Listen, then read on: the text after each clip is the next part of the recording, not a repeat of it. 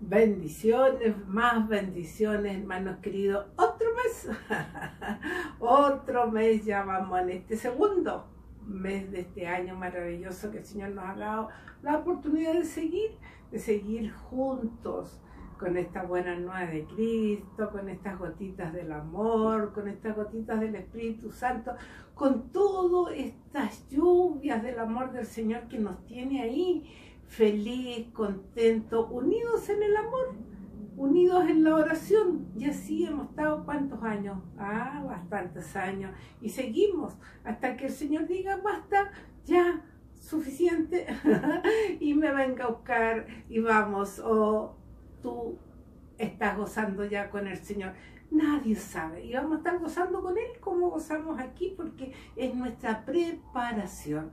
Y estuvimos ah, viendo ya cómo esta segunda, primera Corintios terminamos con el resumen de lo que era el amor.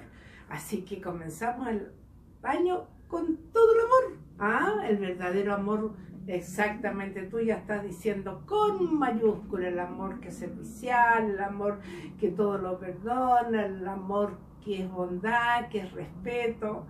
Ese es el amor verdadero, que es entrega, preocupación por el otro, no egoísta. Bueno, y vamos a ver cómo empezamos este mes, este segundo mes del año cortito. Así que vamos a ver. Y el Señor y el Espíritu Santo nos siguen iluminando y nos siguen guiando. Y en Juan 10, el pastor y el rebaño. El buen pastor. Vamos a ver ¿Qué necesitamos? Somos esas ovejitas que de repente nos descarriamos y cómo nos reencontramos. Ahí vemos con el Señor. Y mira, en Juan 10.3 nos dice, a este le abre el guardián para que entre y las ovejas escuchan su voz. Él llama a las suyas por su nombre y las saca fuera del corral.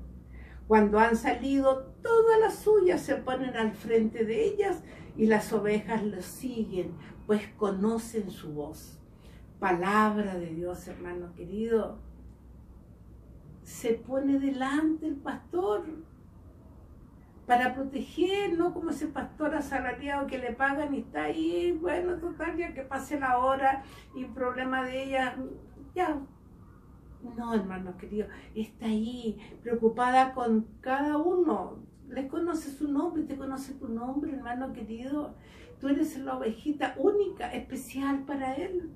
Y si nos acordamos más adelante, cuando tú te descarríes, Él no va a decir, bueno, total, hay una, tengo toda esta otra, me quedo con ella. Ella ya, problema de ella, ella eligió. Él no. Él nos va a buscar y nos llama y nos saca, nos saca de ese lugar que hemos ido que no corresponde. Nos saca en el amor y nos toma en bracito y nos dice, vamos, vamos, vamos, la llevo mi corralito ahí donde existe el amor, donde estamos aquí. Vamos, no te escapes, ¿qué es lo que vas a hacer? Solito te pierdes.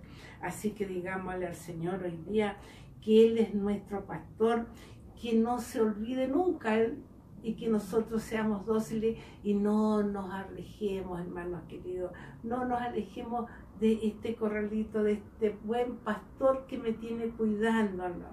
No nos vayamos con cualquiera que nos dice aquí, allá, y hoy salimos y después volvemos agachadita. Así que digámosle, gracias Señor, gracias por amarnos tanto y cada vez que me vaya, tráeme en bracito a reencontrarnos nuevamente contigo, que eres el amor y la verdadera felicidad.